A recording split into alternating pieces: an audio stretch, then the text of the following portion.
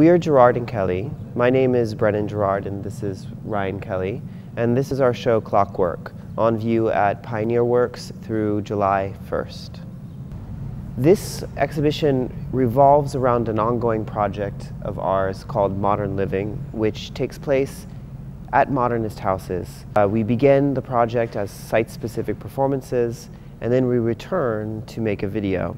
And this show is the New York City premiere of the video, which is right behind us playing, uh, Schindler Glass, which was shot on location at the Schindler House in West Hollywood, considered by many to be the first modern house in the world, and Philip Johnson's iconic glass house in New Canaan, Connecticut.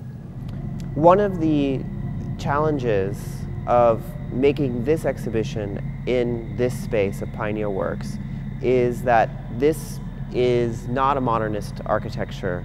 It's pre-modern. this space was built in 1860 for the manufacture of, of iron works and machines.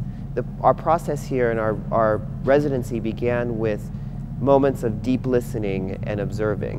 And one of the things we observed that in this space, every day, between the hours of 4 and 7 p.m., there is always already this light show that comes in through the windows and moves very quickly across the floor, the walls. So this was kind of the, for us, the hidden choreography of Pioneer Works as a site, as a site of architecture and its interplay with, with nature and with light from the sun. So this work is titled The Family as a System of Regeneration. There are three trifold screens spread throughout the show, and this diagrammatic painting that you see extends across the three trifolds. It is actually the performance score for the first performance of our ongoing project Modern Living, which took place at the Schindler House in Los Angeles. It's a time code for the 60-minute performance that continued to regenerate or loop uh, over the course of several days. There were nine dancers in that performance, each in a two-tone monochrome so the colors coordinate to the colors of the costumes that each dancer was wearing. So if you follow it carefully, you can see which dancers were interacting with other dancers at any moment in the course of the performance. This work is a sculpture um, called Skin and Bones, and it is made entirely of glass, steel, and two subwoofers. Two subwoofers hold up and buttress uh, a pane of glass. That pane of glass is the dimensions of the Farnsworth House in Plano, Illinois, which was designed by Mies van der Rohe for the physician and the poet Edith Farnsworth.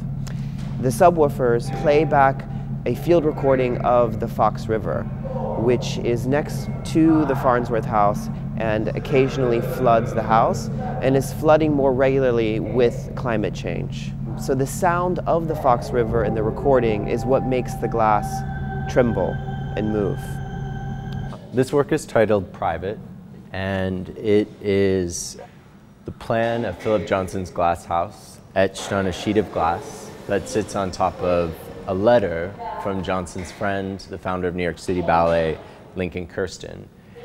Kirstein is acknowledging his friend Philip Johnson's avowed fascist politics in the 1930s, also claiming that Johnson, in years since, made atonement for those deplorable po politics. Uh, the piece is called Private because both Kirstein and Johnson were privates in the US Army, and Kirstein refers to Johnson as private. But we were also interested in how the other shared experience between Kirstein and Johnson was their closeted sexualities. And so private also refers to that um, open secret. So this work is called Light Studies, and it is a, a grid of 12 renders of the light in this space at 4.33 p.m. on the first day of every month. So it functions both as a kind of clock and a calendar. We chose the 433 time as an homage to John Cage and his radical work, 4 minutes 33 seconds. He happened to have been a, a guest at the Schindler House in uh, Los Angeles where our project Modern Living began. So these are a grid of 12 silk screens um, of this space and the performance that is always already taking place here at Pioneer Works.